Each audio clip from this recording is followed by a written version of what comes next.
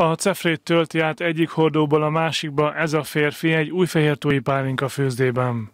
A napokban itt is megkezdődött a megypálinka főzése, amely a legkorábban beérő gyümölcs a térségünkben. Idei évben, mint mindig most is a meggyel kezdődött a pálinka szezon. Sajnos jóval kevesebb és rosszabb minőségű a megy, mint a tavalyi évben. Ez annak köszönhető, hogy tavasszal sok volt az eső, így a cukrosodás nem tudott olyan mértékbe végbe menni, mint ahogy kellett volna.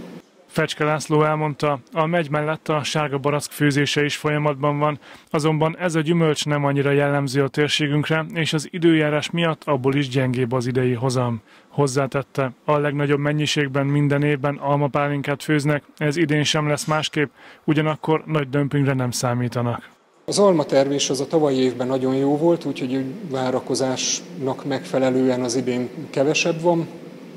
A szilva az, az egyenlőre úgy tűnik, hogy jó termés lesz. Még a szilvának, a kései szilváknak a napsütés jót tenne, így a, a jégverés ilyesmi már annyira nem befolyásolja, mert már nagyjából érett, tehát még ha le is hullik cefrébe, még használható.